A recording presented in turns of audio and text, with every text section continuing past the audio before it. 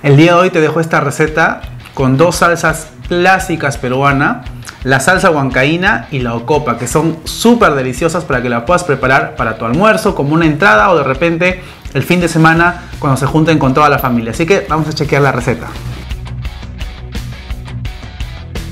Aquí en aceite caliente vamos a sofreír. Normalmente, quiero decirles algo antes. Normalmente esta receta de la ocopa he, buscado en muchos libros, eh, en internet, he visto algunas controversias de la ocopa. La hacen con ají mirasol. El ají mirasol ya les he mostrado en videos anteriores, les he enseñado cómo se ve y todo. Yo tengo aquí ají mirasol procesado que ya está blanqueado, está licuado y todo. Entonces yo voy a utilizar un poco de este ají. Pero también voy a utilizar ají amarillo, el fresco. Le agregan cebolla, ¿ya? Ají amarillo fresco y dos dientecitos de ajo. Lo sofríen ahí a fuego medio por unos dos minutos, siempre moviendo, ¿ya? Porque si no, se puede quemar. Yo le voy a agregar, como les digo, ají mirasol. Si tienes ají mirasol, agrégale, ¿ya? Si no tienes, no te compliques, no hay problema. Y aquí le voy a agregar unas hojitas de huacatay. Huacatay es una hierba aromática que normalmente se encuentra aquí en Perú, en los Andes y en algunos otros lugares. Tiene un aroma buenísimo, realmente aporta muchísimo en la comida y en la ocopa especialmente queda pero buenísimo. Para esta receta que más o menos van a ser como para unas 5 personas como una entrada, estoy utilizando toda una rama. De aquí ya le he sacado y le he echado por acá y esto lo vamos a usar para licuar. Tenemos aquí nuestra copa prácticamente casi casi lista. Vamos a agregar acá el vaso de la licuadora todo. Aquí le vas a agregar maní ya el maní que encuentras en cualquier tienda. Y las famosas galletas de animalito o puedes utilizar galletas de vainilla ya. Son galletas un poco dulces. Aceite. Y guacatay más guacatay ¿ya? ahí licuamos y le vamos a ir agregando aceite un poquito. Y si está muy espeso le agregamos un poquito más de agua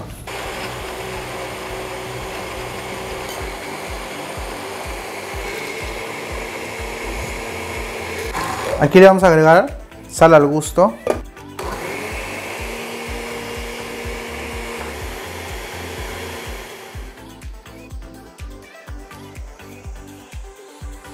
Listo, ahora vamos a preparar la segunda salsa que es una salsa huancaína. Definitivamente es como yo la preparo, ¿ah? esta sí yo lo preparo en casa.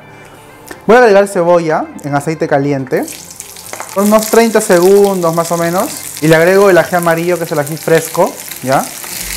Y le agrego también dos dientes de ajo entero. Y aquí lo voy a mover por unos 3 minutos más o menos. 2-3 minutos dependiendo de la cantidad que vayas a preparar. A fuego medio bajo nomás.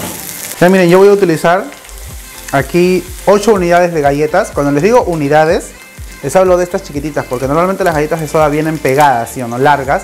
Es esto un cuadradito ya pero yo lo voy a agregar la mitad aquí y la mitad en la licuadora y de igual manera con el queso, la mitad aquí y la otra mitad en la licuadora. Pero aquí en los ingredientes yo le voy a poner la cantidad total para que no haya confusiones. Y también le voy a bajar la temperatura bien, pero bien mínimo y le voy a agregar leche evaporada mezclada con un poco de agua. No le estoy agregando todavía sal porque a veces los quesos vienen bien salados, son bien salados. Entonces al momento de licuar, cuando licuemos, rectificamos la sal. Si le falta un poco, le agregamos. Y esto lo vamos a cocinar ahí aproximadamente por unos 30 segundos, casi un minuto hasta que se forme como una cremita y a licuar. Listo, entonces vamos a licuar nuestra huancaína. Miren cómo se ha hecho todo el queso y la galleta. A mí me gusta hacerlo así, de verdad, sale muy rico. Si nunca lo has hecho así, pruébalo. Aquí le voy a agregar, recuerda que te dije la mitad de la galleta que me quedó. Voy a agregarle un trozo más de queso. Tapamos y a licuar.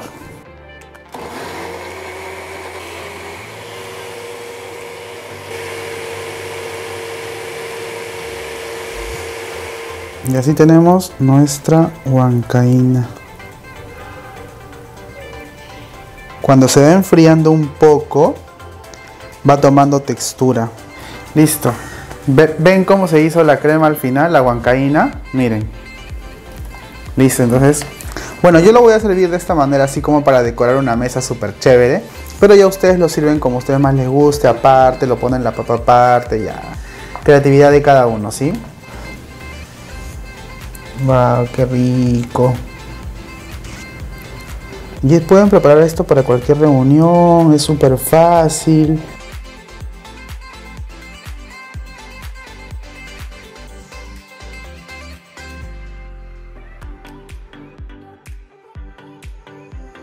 vamos a ir primero con la copa, que es lo que más me hace agua en la boca. Mmm. A ver la huancaína que tal, está bien cremosita. Mira, mira eso. Mmm. Mmm.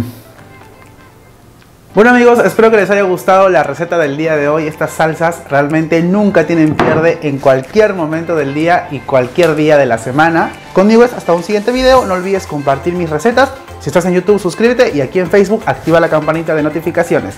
¡Chao!